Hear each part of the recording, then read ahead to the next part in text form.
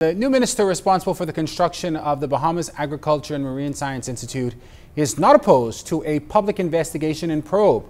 State Minister for Works and Urban Development, the Honorable Arnold Forbes, says the government has nothing to hide and will not stand in the way of the public finding out about the contracts issued for the facility.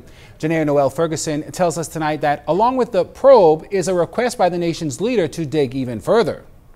The request for a public hearing into all contracts concerning BAMSI is being positively received by the Minister of State for Works, Arnold Forbes, who maintains that the government has nothing to hide concerning the multi million dollar North Andros project still under construction.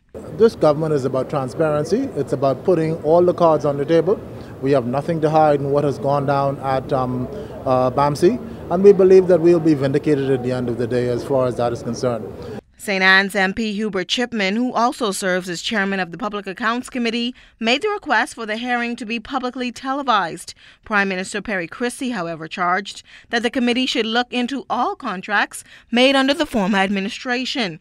Chipman says the Prime Minister has no jurisdiction on the probe of the committee. We are dealing with BAMSI and only BAMSI at this particular time.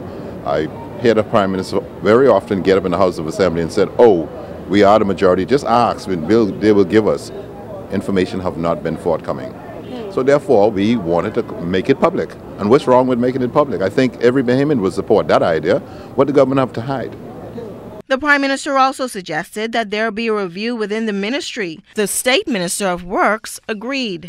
There are some irregular, irregularities that have been noticed, and you know we are in the process. The Deputy Prime Minister and myself are in the process of correcting those. And you know, but but any there's a consequence for every action or every inaction, I, I would say.